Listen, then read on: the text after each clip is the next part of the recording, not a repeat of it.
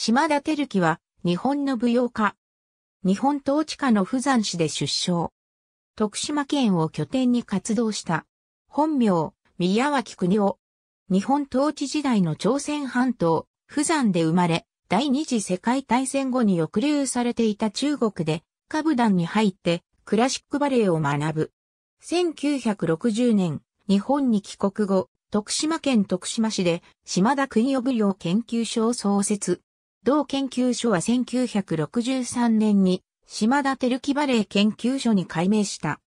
1965年に現代舞踊協会徳島グループの結成に加わり1984年には同グループを徳島洋舞家協会に発展させ、また理事を務めた。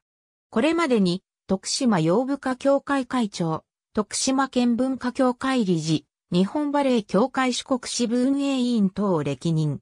教え子には、三木馬等がいる。2014年のバレエ研究所55周年記念公演では、歌舞伎の連獅子に着想を得た創作舞踊、獅子の前で14年ぶりに舞台に立った。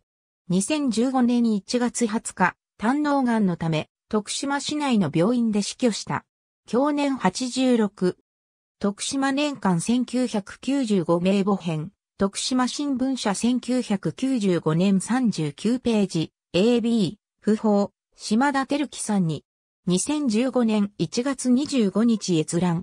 徳島新聞徳島県文化賞これまでの受賞者、徳島県と福島文化振興課。ありがとうございます。